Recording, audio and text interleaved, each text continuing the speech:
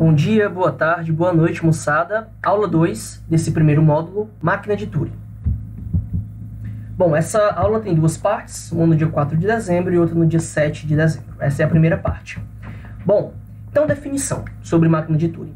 Nós vimos lá em linguagens formais e autômatos, que é pré-requisito para essa disciplina, que nem os autômatos finitos, nem mesmo aqueles autômatos de pilha que tinham uma, uma memóriazinha, eles podem ser considerados modelos gerais de computação, uma vez que eles têm limitações. Existem coisas que eles não são capazes de reconhecer algumas linguagens. Por exemplo, essa linguagem que nem é tão complexa. O A N vezes, o B N vezes e o C N vezes. Nós vimos que o autômato de pilha, ele até consegue reconhecer, por exemplo, A N vezes e o B N vezes, ou B N vezes e o C N vezes, ou A N vezes e o C N vezes, mas não os três juntos. É? Então nós vamos conhecer agora dispositivos que são capazes de reconhecer essas e outras linguagens mais complexas. Esses dispositivos nós chamamos de máquinas de Turing. Apesar de serem mais genéricas que os autômatos que nós estudamos previamente, o seu aspecto básico ele é bastante similar. Para esse motivo, eu vou até recordar com vocês um pouquinho sobre autômatos. Né? Então nós temos os estados, nós temos aqui uma marcação que diz qual é o nosso estado inicial, onde é que começa a nossa computação, um certo estado Q0, estado Q1, estado Q2, nesse nosso exemplo pode ter muitos outros estados. Então, no nosso estado, no nosso exemplo aqui, quando eu estou no estado Q0 e leio da entrada 1A, eu vou para o estado Q1. Quando eu estou no estado Q0 e leio um B, eu vou para o estado Q2. Esse Q2 aqui está marcado dessa maneira porque ele é um estado especial, né? que nós chamamos lá em autômatos de estado de aceitação. Aqui em máquina de Turing nós vamos ter alguma coisa parecida também.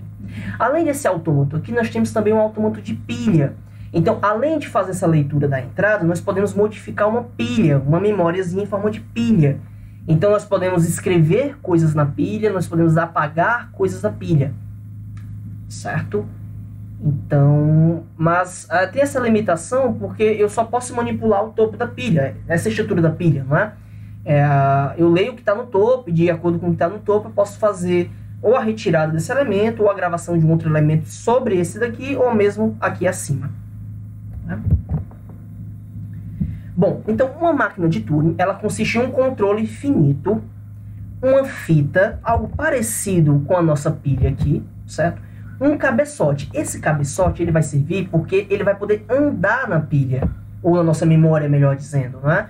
Então, enquanto aqui no autômato de pilha eu só tenho acesso ali àquela ponta da, da memória, com a máquina de Turing, como eu tenho um cabeçote, eu posso andar pela memória inteira. Tá?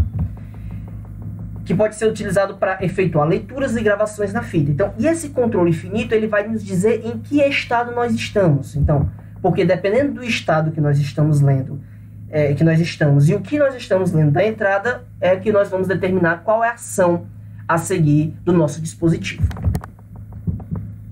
Bom, o que é que nós vamos ver? Veremos que, por mais elementares que as máquinas de Turing pareçam ser, nenhuma tentativa de fortalecê-la se mostra eficaz. Então veja, esse dispositivo que eu falei para vocês, basicamente eu tenho uma fita, tenho um cabeçote que anda na fita, e esse cabeçote pode escrever e pode ler a fita. É um dispositivo ainda muito rudimentar, podemos dizer assim, não é muito mais efetivo do que o autômato de pilha, por exemplo. Basicamente, basicamente, a grosso modo, é um autômato de pilha com um cabeçote. Eu posso mexer agora, eu posso andar na minha pilha. Eu não tenho acesso somente à parte superior da minha memória. Né? Mas Apesar disso, é, todas as tentativas de fortalecer essa, esse dispositivo, elas não surtiram tanto efeito. Então nós temos, por exemplo, máquinas de Turing, nós vamos estudar aqui, máquinas de Turing com mais de uma fita, mais de uma memória.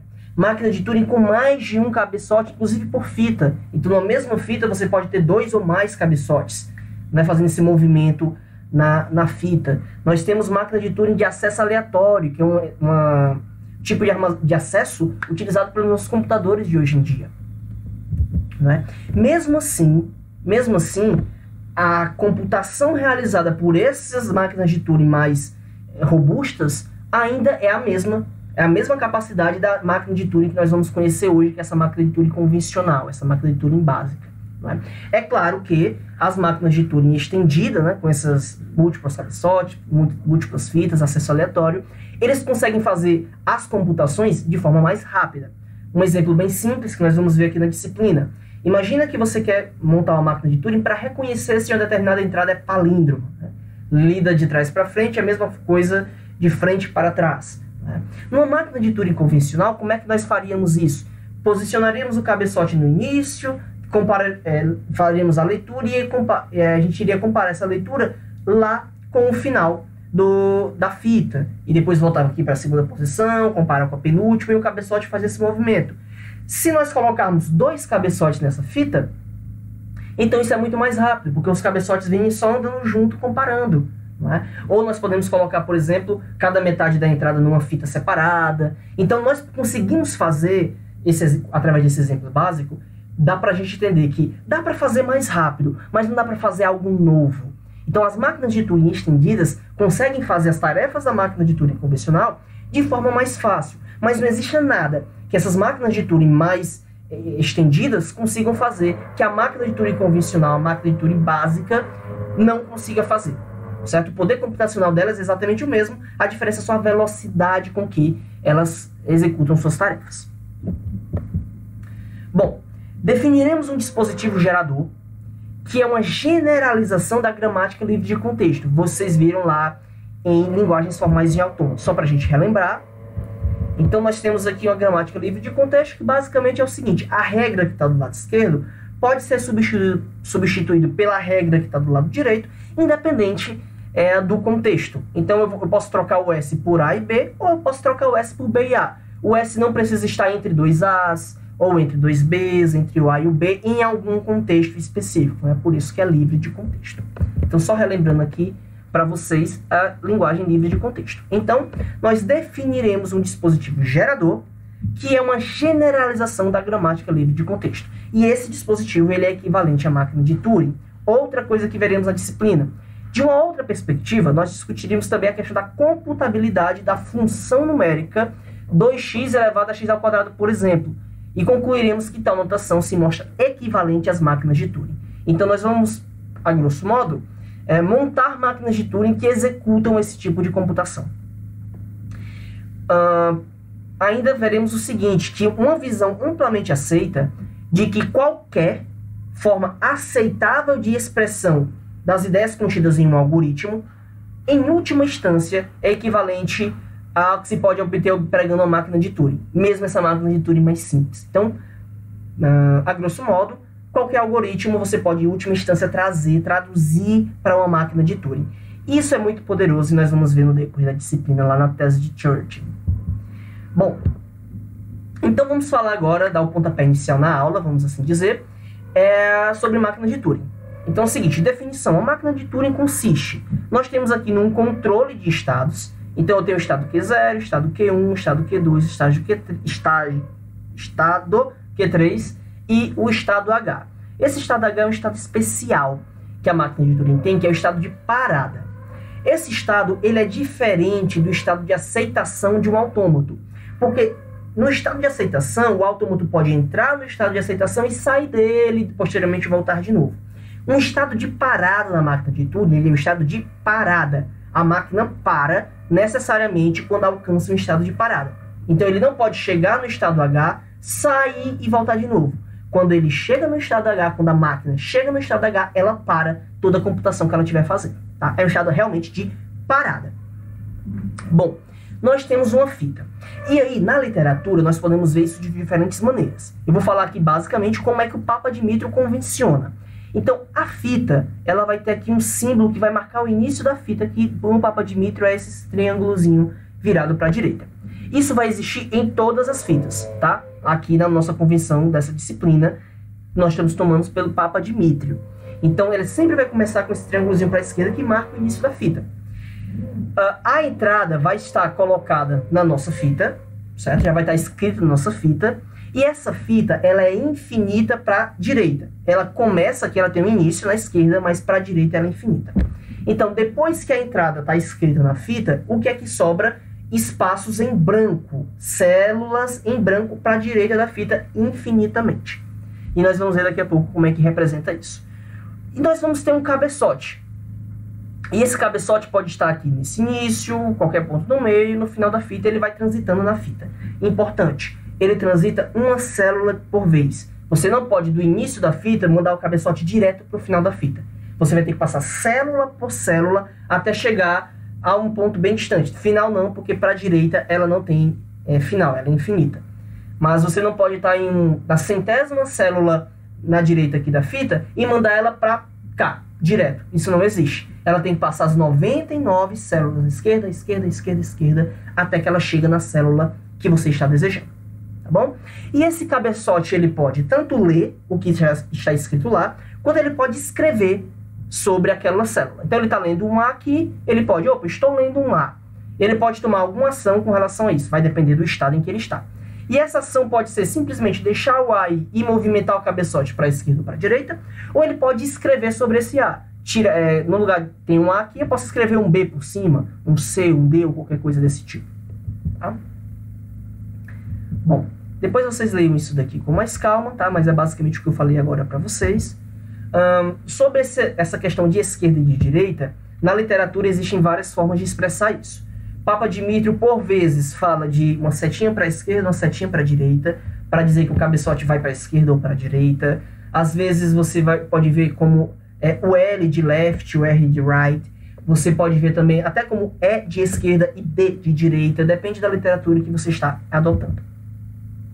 Símbolo em branco também vai variar de literatura para literatura. O Papa Dimitrio ele usa esse símbolozinho aqui. É tipo um U, só que bem quadradinho. Tá? Isso aqui é o espaço em branco. Então, quando você vê isso daqui numa célula, quer dizer que aquela célula está em branco. Tá? Bom, basicamente isso daqui. Agora a definição formal, muito parecida com o que nós vimos lá em autômatos, certo? Conjunto de estados, é, o alfabeto de entrada, a função de transição, se eu estou no estado lendo alguma coisa na fita, o que é que eu faço? Isso é dado pela função de transição. Diz para que estado que eu vou e o que é que eu faço. Movo para a esquerda, movo para a direita, fico onde eu estou, uh, sobrescrevo o que eu estou lendo. E aqui vem um detalhe importante. Na nossa convenção, a máquina não pode escrever e andar ao mesmo tempo com o mesmo comando. Se você precisa escrever algo na célula e deslocar para a direita, você faz isso em dois movimentos. Primeiro você escreve, depois você desloca para a direita, tá? Você não pode escrever e andar nessa convenção do Papa Dimitrio, tá bom? Pode ser que vocês vejam por aí alguns, autores que usam é, escrita, escreva, é, escreva e ande, escreve e fique parado, alguma coisa do tipo.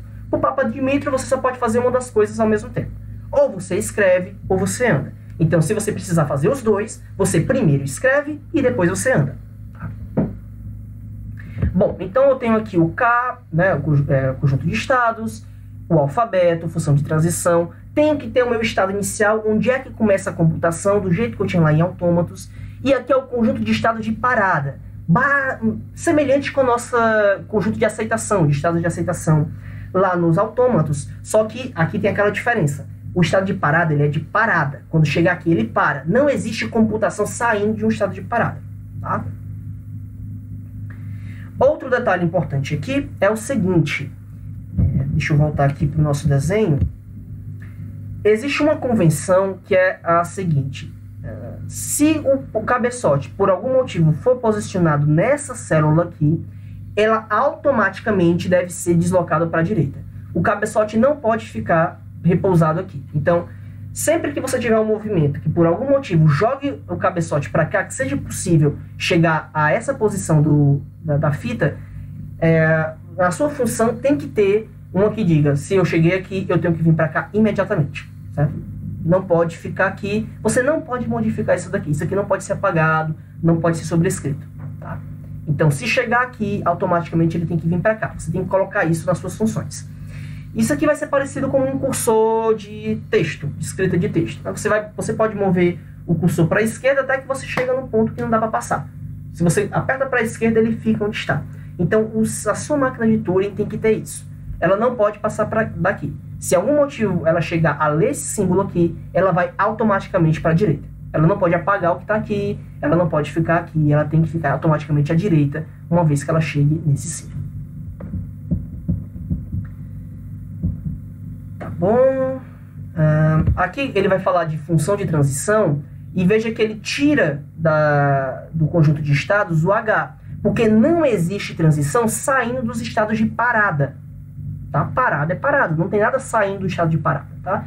Então, para todo estado que não seja um estado de parada, aí ele vai começar sobre as funções de transição. Então, por isso que você vê muito aqui o K menos H, porque são os estados que não são de parada. Porque para estado de parada não faz sentido você falar de função de transição, já que não tem transição saindo de estado de parada. Porque um estado de parada é um estado de parada. Tudo bem? Outra coisa importante para a máquina de Turing convencional, que é essa que nós estamos estudando hoje.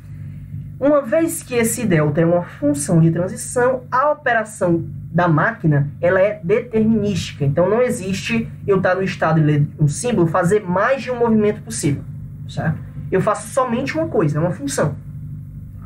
Então não existe assim, ah, eu estou no estado Q1, estou lendo A, então eu posso fazer isso ou isso. Isso não existe na máquina de Turing convencional, porque ela na máquina de Turing convencional ela é determinística, certo? Se eu estou num estado lendo determinado símbolo, eu só tenho uma ação possível, seja ela de deslocamento, seja ela de escrita. Tá? Outra coisa, a minha máquina ela não é capaz de gravar esse símbolo aqui. Ela não pode gravar esse símbolo. Esse símbolo existe no começo, para marcar o início da fita, e ele não pode ser escrito em nenhuma outra célula da fita. Da mesma forma, ele não pode ser apagado do início da fita. Pronto. Uh, aqui ele dá uns exemplos né, de, de função. Então, veja. Quando eu estou no Q0 e leio A, eu tenho só uma opção. Eu vou para o Q1 e escrevo o símbolo branco. Então, eu vou tirar o A e vou colocar o branco. Quando eu leio A, se eu tiver em Q1, a ação é diferente. Né? Eu vou escrever o A por cima, ou seja, eu vou deixar o A lá. Né? Mas eu vou devolver o comando do Q1 para o Q0. Então, eu estava no estado Q1, eu vou para o Q0. Se eu estou no Q0 e leio A, eu vou para o estado Q1 e escrevo branco. Se eu estou no Q1 e leio A, eu volto para o Q0 e escrevo A. Tá? Então, qual é o destino da fita é, se eu estiver lendo um A? Depende do estado que eu estou. Né? Nesse nosso exemplo aqui, se eu estou no Q0, eu vou substituir o A pelo branco. Se eu estou no Q1, eu vou substituir o A pelo próprio A. Então eu tenho que saber em que posição, em que estado eu estou, para saber qual é a ação que eu vou tomar. É, qual é a minha ação quando eu estou lendo, o meu cabeçote está posicionado sobre uma célula que está lendo, uh, está em branco aquela célula? Depende. Se você está no Q0, então você vai para o estado de parada e deixa o Q0 lá. Ou, desculpa, e você deixa o branco lá. Se você estiver no Q1, então você vai voltar para o Q0, você vai para o estado Q0 e você vai deslocar a célula para a direita. Aqui com relação ao símbolo, veja só, símbolo de início de fita. Esse símbolo só existe no início da fita, você não pode gravar em outro canto, então ele só, só existe no início da fita. Se você está lendo nisso, é porque você chegou no início da fita. Lembra que existe uma convenção. Chegou no início, volta para a célula imediatamente à direita. Então, independente se eu estou no Q0 ou no Q1, se eu estou lendo esse símbolo, eu vou para a direita certo? Se eu estou no Q0, mantenho no Q0. Se eu estou no Q1, eu me mantenho no Q1. Eu só vou para a direita. Outro exemplo aqui. Bom, com relação às configurações de uma máquina de Turing. Bem, para caracterizar o andamento da computação da máquina de Turing, a gente tem que especificar o estado em que ela está e o conteúdo da fita. Tanto é, a célula que eu estou lendo, também o que tem à esquerda e o que tem à direita dessa célula, e isso pode ser feito de algumas maneiras. Existem alguma algumas formas de expressar essa computação, certo? Então, aqui para o Papa Dimitrio, tem algumas formas. Então, vamos lá. É, sempre vai começar com o estado, não é? E tem uma maneira que é você particionar da célula que você está lendo para trás, ou melhor, para a esquerda. Então, isso quer dizer que eu estou lendo um A e o que tem à esquerda. Ou seja, o A está imediatamente à direita daquele início da, da fita. Aqui, por exemplo, eu estou lendo um símbolo em branco, na minha esquerda tem dois símbolos brancos até chegar ao início da fita, certo? E o que está aqui à direita, é bem, o que está à direita da célula que eu estou lendo. Então, a fita completa é início A, A, B, A. E aí começa infinitos brancos. Essa fita completa é início, branco, branco, branco, branco e A. E onde é que está o cabeçote? Ele está nesse último branco aqui. Onde é que está o cabeçote aqui? Ele está no A. Onde é que está o cabeçote nessa configuração? Ele está nesse branco aqui, certo?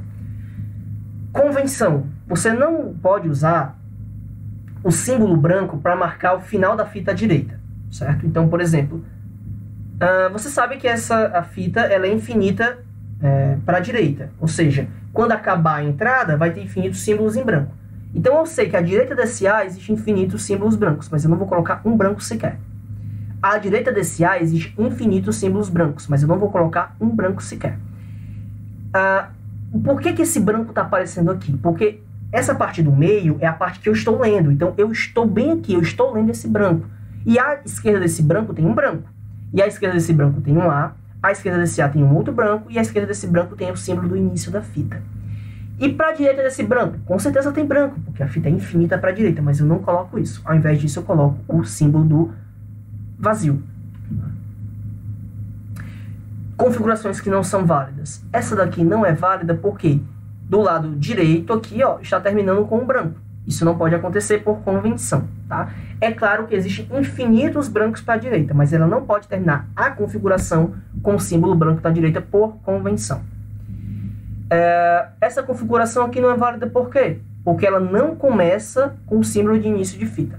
Tá? Não começa com o símbolo de início de fita. Então, não é uma configuração válida. Uma configuração cujo estado em questão é um estado de parada é chamado de configuração de parada. Então, isso aqui é uma configuração de parada, porque esse H é um estado de parada.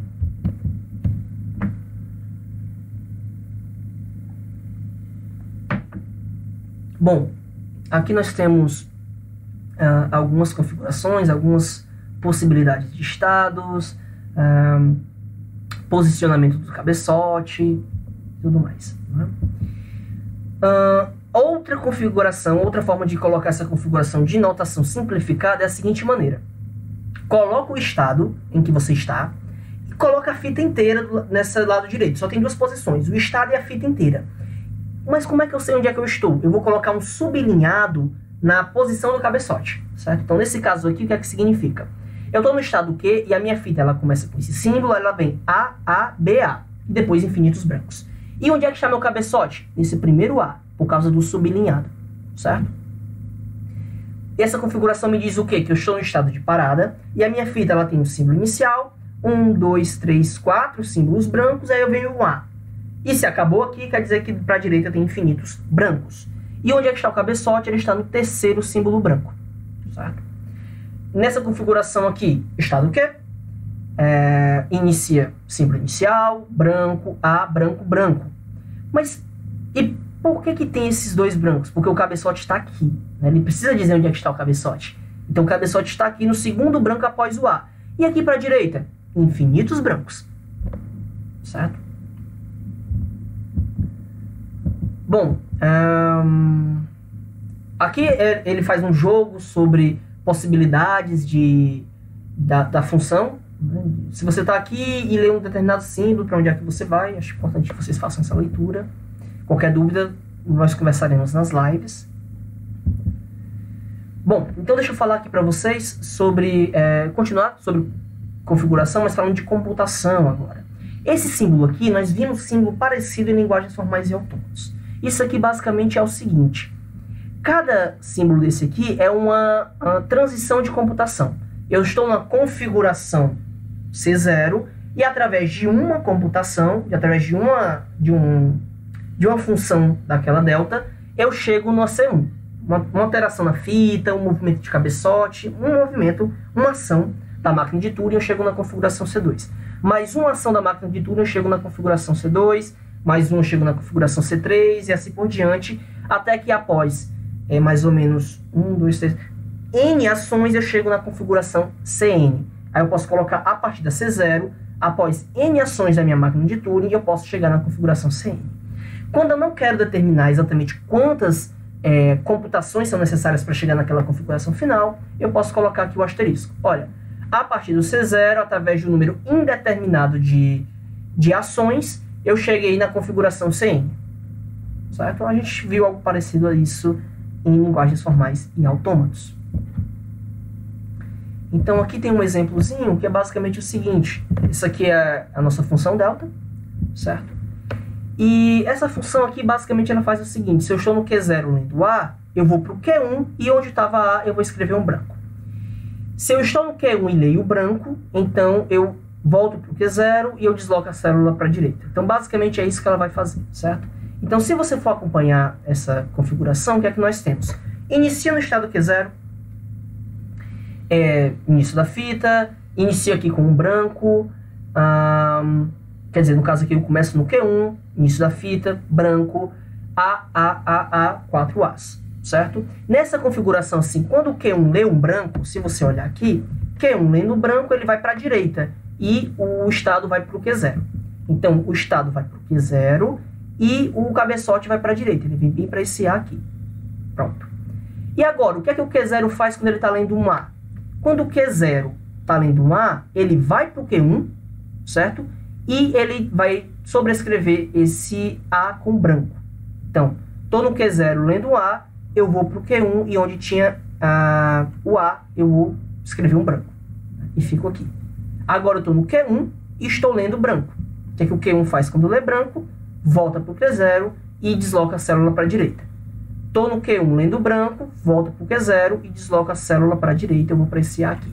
E assim vai seguindo, né? Onde ele tiver A, ele vai trocar pelo branco, fazendo esse jogo do Q0 para o Q1, do Q1 para o Q0, certo? Seguindo assim, até que vai chegar o ponto que uh, Q0 lendo A, vai para o Q1, escreve branco. Q1 lendo branco, o que é que ele faz? Ele devolve para Q0, permanece onde está.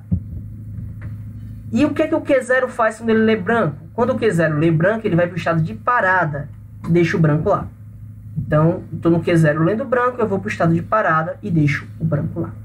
Tá? Bom, é isso a primeira parte da aula. Na segunda parte, nós vamos ver agora a partir de combinação de máquina de Turing. Até a próxima!